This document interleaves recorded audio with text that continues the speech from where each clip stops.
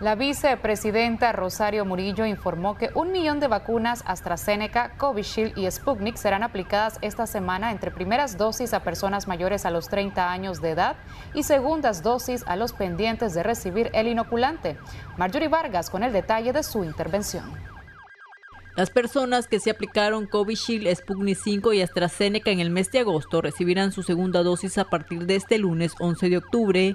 Los habitantes del distrito 1, 2, 3 y 4 deberán acudir al centro comunitario Elena Lao y en el policlínico iraní a los del distrito 5, 6 y 7, según lo dio a conocer en su intervención de este viernes la vicepresidenta Rosario Murillo. En Carazo, Diriamba, Hospital del Maestro. También tenemos en Ginotepe, Hospital Regional Santiago, Centro de Salud Pedro Narváez Cisnero, también San Marcos, Casa de la Cultura, Ginotepe Sede del Silais, San Marcos, Antigua Estación del Ferrocarril, Dolores, Casa para Personas con Necesidades Especiales, Santa Teresa, Casa para Personas con Necesidades Especiales, y La Conquista, Centro de Salud en Santa Teresa, disculpen, en la Conquista Casa para Personas con Necesidades Especiales, el Rosario Centro de Salud y La Paz de Carazo Centro de Salud.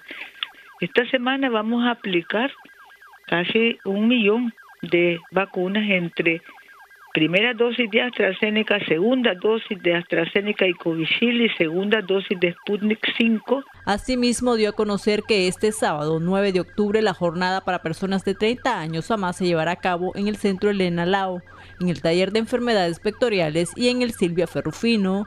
Y en las próximas semanas se dará a conocer detalles de los lugares donde se aplicará la vacuna Pfizer para embarazadas y niños con enfermedades de riesgo. Para Acción 10, Marjorie Vargas.